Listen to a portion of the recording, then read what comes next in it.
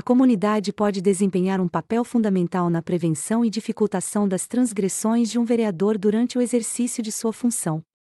Aqui estão algumas formas pelas quais a comunidade pode agir. Acompanhamento ativo: os cidadãos devem acompanhar de perto as atividades do vereador, participar das sessões da Câmara Municipal, ler as propostas de lei e estar informados sobre as decisões tomadas. Cobrança de transparência: a comunidade pode exigir transparência por parte do vereador, solicitando acesso às informações relevantes, como prestação de contas, gastos públicos, projetos e votações. É importante questionar e estar atento para identificar possíveis irregularidades. Fiscalização das ações do vereador: os cidadãos podem fiscalizar as ações do vereador, verificando se ele está cumprindo suas promessas de campanha, se está presente nas sessões legislativas e se está representando efetivamente os interesses da comunidade. Participação ativa e engajamento cívico. É essencial que os cidadãos se envolvam ativamente na política local, participando de audiências públicas, reuniões comunitárias e debates políticos. Dessa forma, é possível influenciar as decisões do vereador e garantir que ele esteja ciente das necessidades da comunidade. Denúncia de irregularidades. Caso haja suspeita de alguma transgressão cometida pelo vereador, os cidadãos têm o direito e a responsabilidade de fazer denúncias aos órgãos competentes, como o Ministério Público ou a própria Câmara Municipal. É importante reunir evidências e informações concretas para embasar as denúncias. Exercício do voto consciente. Nas eleições, os cidadãos devem analisar cuidadosamente o histórico, as propostas e o comportamento ético dos candidatos a vereador antes de escolherem quem votar.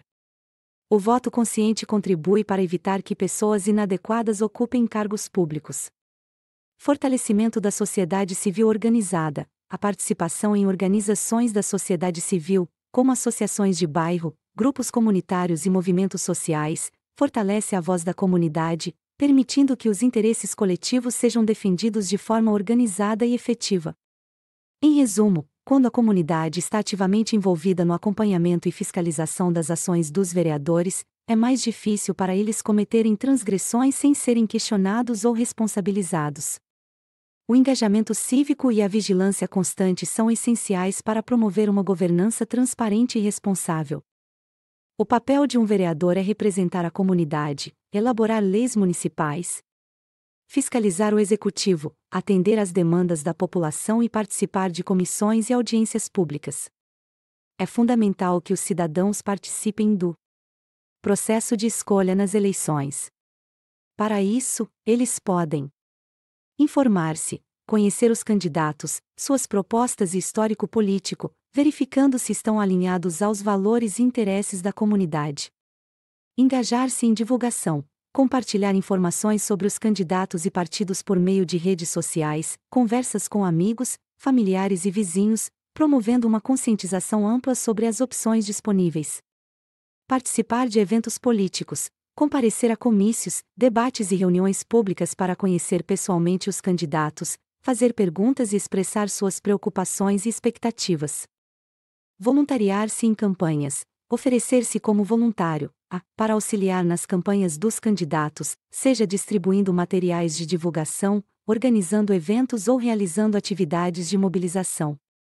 Organizar debates comunitários, promover debates entre os candidatos em sua comunidade, convidando os moradores para participar, fazer perguntas e avaliar as propostas apresentadas. Participar de grupos de discussão política, engajar-se em fóruns locais, grupos de discussão e associações cívicas para debater questões políticas, compartilhar ideias e buscar soluções coletivas. Exercer o voto consciente, comparecer às urnas no dia das eleições e escolher o candidato que melhor representa suas convicções e interesses, levando em consideração as informações e análises coletadas. Lembrando que a participação cidadã não se limita às eleições. É importante acompanhar o trabalho dos vereadores eleitos, fazer cobranças, enviar sugestões e estar atento a, ao cumprimento das promessas feitas durante a campanha. A participação ativa da população é fundamental para fortalecer a democracia local e garantir uma representação efetiva dos interesses da comunidade.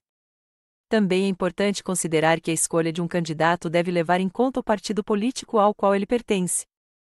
De forma geral, os candidatos estão diretamente ligados à maneira como o partido lida no dia a dia com relação às políticas públicas. As votações em projetos de lei são uma boa maneira de avaliar como o partido se posiciona em relação à comunidade ou na defesa de grupos específicos, incluindo investidores, grandes latifundiários, banqueiros, empresários, dentre outros. Se um projeto de lei é importante para a comunidade e o partido se posiciona contrário a ele, isso pode indicar que seus membros têm uma postura em comum, podendo não ser favoráveis ao povo, mesmo que afirmem o contrário em seus discursos. Muitos políticos afirmam ser defensores da comunidade, mas quando chega a hora de agir em defesa dos direitos do cidadão, muitas vezes agem exatamente ao contrário, votando em interesses particulares. Existem exemplos disso em nosso país, como nas votações sobre mudanças na Previdência Social, onde grupos defenderam a ampliação do tempo de contribuição e idade para a aposentadoria, foram contra a igualdade salarial entre homens e mulheres, onde deputados votaram contra o reconhecimento do princípio de trabalho igual com salário igual, cotas para acesso à universidade para pessoas negras, onde grupos políticos se posicionaram contra as políticas de cotas, ignorando a realidade estrutural racista existente em nosso país, além de inúmeros outros temas de interesse social, nos quais grupos organizados se colocam contra a melhoria da qualidade de vida de nossa população. Ao fazer suas escolhas de voto, é importante considerar várias dicas para avaliar seu candidato. Além disso, leve em conta se o partido ao qual seu candidato está afiliado possui uma posição alinhada com aquilo que você considera correto. Caso o partido não tenha demonstrado, por meio de votações de projetos de lei, um compromisso direto com os interesses da maioria da população, é aconselhável ficar atento em relação ao seu candidato. Geralmente, pessoas corretas e éticas não costumam se associar a grupos que agem de forma contrária aos seus princípios e valores. Para concluir, aqui vai uma dica: se depois das argumentações que apresentei você não conseguir imaginar alguém que se encaixe nessas características que validam uma boa escolha para um candidato, talvez este seja o momento de você se envolver mais e assumir a tarefa de representar sua comunidade. Há vários partidos políticos disponíveis para aceitar novos membros, especialmente no período pré-eleitoral, quando buscam pessoas honestas e dignas capazes de representar sua comunidade. Um bom exemplo são os partidos de esquerda, que possuem visões alinhadas com os anseios de construção de uma sociedade melhor e mais igualitária para todos. Verifique se esses partidos existem em sua cidade, filie-se e contribua para sua organização. Torne-se um cidadão consciente e envolva-se na política, assumindo a responsabilidade de mudar a realidade de sua comunidade e fazer a diferença.